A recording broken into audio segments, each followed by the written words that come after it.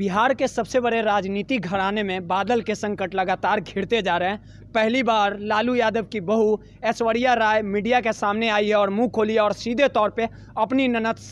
मीसा भारती पे यह आरोप लगाया कि उनका घर बसने मीसा भारती नहीं दे रहे हैं। ऐश्वर्या राय ने मीडिया के सामने आकर बताया कि लगातार उनसे मारपीट की जाती थी, लगातार उनको जून से जुलाई महीने में खाना नहीं दिया जाता था और लगातार उन पर अत्याचार किया जा रहा था। इस पूरे मामले के बाद कह सकते हैं कि लगातार आर पार की लड़ाई जो है वो लगातार बढ़ गई है और लगातार ऐश्वर्या राय ने सीधे तौर पे अपने राबड़ी देवी पे भी आरोप लगाया कि लगातार उनके घर बिगाड़ने में सबसे ज़्यादा अगर अहम भूमिका रही है तो वो मीसा भारती को रही है और इस पूरे मामले के बाद उनका जो खाना, ससुराल में जो उनका जो खाना, वो चंद्रिका राय के घर से आता था। तो सीधे तौर पर कह सकते हैं कि लगातार जो ऐश्वर्या राय हैं, उन्होंने लालू परिवार पर लगातार गंभीर आरोप लगाए और इसके बाद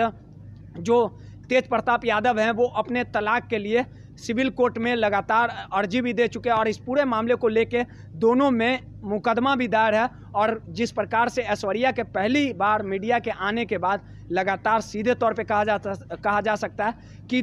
तलाक को लेके जो तेज प्रताप ने जो अर्जी दाखिल की थी और उसके बाद लगातार जो ऐश्वर्या राय, लालू परिवार के लालू यादव के घर पे रह रहे थे और इस पूरे मामले के बाद जब ऐश्वर्या राय सामने आई है उसके बाद आगे आने वाला समय बताएगा कि किस प्रकार से इस मामले को लालू यादव सुलटा पाते हैं कि मामला और बिगड़ता ही जाता है। रोहित, अजय भारत, पटना।